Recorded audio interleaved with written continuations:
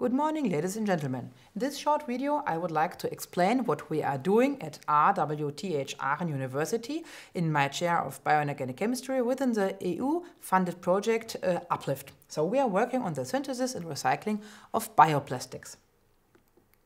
Lactide polymerization and depolymerization is here in the focus. So there are numerous bioplastics which we are dealing with in the project, but lactide and uh, polylactide is uh, the plastics which has the largest part within the bioplastics family. And also here the degradation and biodegradation and depolymerization studies are most advanced. Just as a glimpse, what is, what is uh, dealing here with this bioplastics is that we can just start, for example, with um, biofeedstocks, for example, corn, sugar cane, sugar beets, depending on the region where you are working, or also second, second generation feedstocks like straw or residues from um, alimentation, for example. And after fermentation, you can obtain lactic acid, and after dimerization, you obtain the lactide, and in the ring opening polymerization, you can come then to the polylactide. So the inorganic chemist as catalyst developer comes in into play here in this field. And in, in fact, bioplastics are too valuable to just use them only once. So here this arrow, recycling, gains more and more importance. So in the best case, you can just go cycling here back and forth, produce lactide, make polylactide and go back and forth again. But sometimes in the end, the material can no longer be used. And so it's interesting to investigate how can it be decayed. For example, is the biodegradation fast enough, for example, degradation in, in nature, or is the incineration in the end uh, as thermal use also quite practical? And what's uh, more important is that in the end, wherever, whichever way you are going, you end up with CO2, and the CO2 then closes the loop via the photosynthesis to the biofeedstocks again. As application, for example, application in the packaging of uh, fruits or packaging of vegetables can be named, or also uh, water cups and different single-use cups, for example, but also in the biomedicinal uh, range, you have uh, polylactide screws using, to be used in the bones, for example, a lot of yeah, spare parts, as I would say, for special bones in the human body. They are already in research and sometimes also in clinical use. And there are so many further items which you can produce with bioplastics meanwhile. So for example, these parts can be made of bioplastics or uh, mobile phone cases or laptop cases can be made of polylactide meanwhile. Going a little bit into the details, this is lactide, a cyclic diester of uh, lactic acid. And in fact, you have to open this bond to then come to the ring open product, which is shown here. So you have this chain where this unit as lactic acid unit is just repeated again and again to come to uh, the polymer. Normally you use a catalyst and a co-initiator to promote this reaction. And as I already indicated here, this catalyst should not be toxic. At the moment, tin octanoate is performing this reaction, and tin octanoate is toxic. So the more we are using bioplastics, the more tin is spilled into the environment, and this is a huge problem.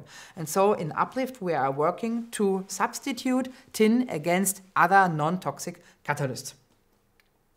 This is again a little bit shown here. So we come from the biofeedstocks, go to the biomonomers, and with our catalysts we can transfer them, transform them to bioplastics. And in the application, for example, in textiles or in the consumer electronics industry, or also in the single-use items, we can come then to the degradation of the products, the recycling of the products, and again back via the CO2 to biofeedstocks. And here it is really tinily shown is a tin octanoate, which is really highly toxic and um, which may accumulate in the environment with higher usage of bioplastics. And we have worked in the last years on iron complexes and even more active zinc complexes, which we go into the detail now. So in this slide, I just show the molecular structure of one of our most famous guanidine carboxy uh, zinc catalysts. So here's the zinc ion, here is the guanidine group, this Y-shaped group. Here is the aromatic ring, and here's the ester group. So um, as guanidine carboxy uh, complex, it is really active in the lactide polymerization, but not as active as the reported tin compound. So we worked on a little bit further over the years and came to iron complexes. So it's the same ligand, so again, guanidine group, S ester group, iron group, and the aromatic ring. And here with some decoration, for example, with the dimethylamine group. And what we can see here now, followed by react Raman spectroscopy in this picture. So you can follow, for example, this Raman peak of lactide, which is decreasing, and the PLA peak is increasing. You can derive kinetics in the polymerization, and then you can compare these kinetics between the catalyst, uh, traditional catalysts and our new catalyst.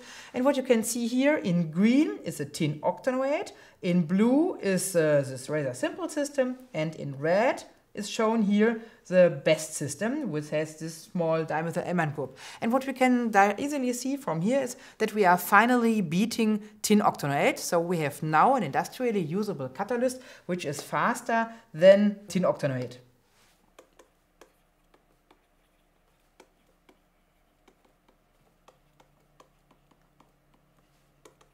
And our catalysts are non-toxic. That is really highly important because we made ecotoxicological studies together with the Hollert group now at the University of Frankfurt and they could prove that our catalysts are really non-toxic and may be spilled in the environment when, when this is desired. Going a little further, we also checked back our zinc complexes and using bisguanidine zinc catalyst.